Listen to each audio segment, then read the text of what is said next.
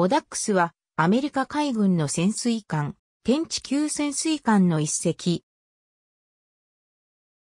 艦名はベラアモクの一種グリーンボーンの学名にちなんで命名された。グリーンボーン・オダックスは1944年12月4日にメイン州キタリーのポーツマス海軍造船所で寄港した。1945年4月10日にジョン・イー・ホガーティ夫人によって命名、浸水し、1945年7月11日に艦長カイリー・ウォーカー・ジュニア少佐の指揮下収益する。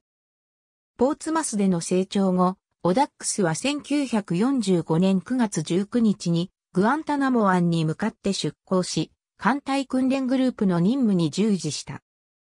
10月30日にオダックスはフロリダ州キーウェストに向かい、艦隊ソナー学校での任務及び訓練活動に1946年9月まで従事する。1946年9月に艦船局による戦後の高速潜水艦調査の一部として、オダックスは潜水艦水力増強計画に基づく回収艦に選択され、ポーツマスに戻り回収が行われた。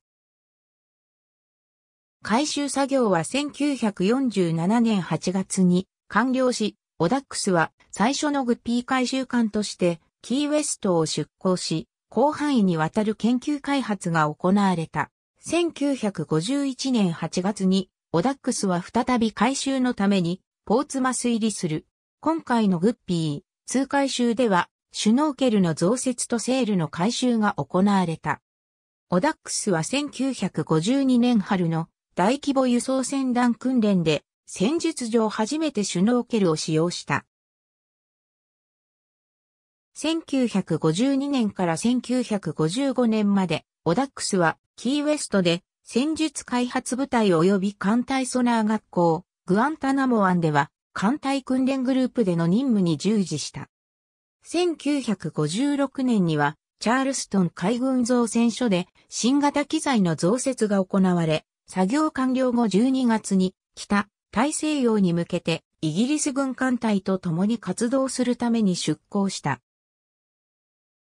1957年以降の活動では、戦術開発部隊での任務で乗組員に対して海中における最新戦術を訓練した。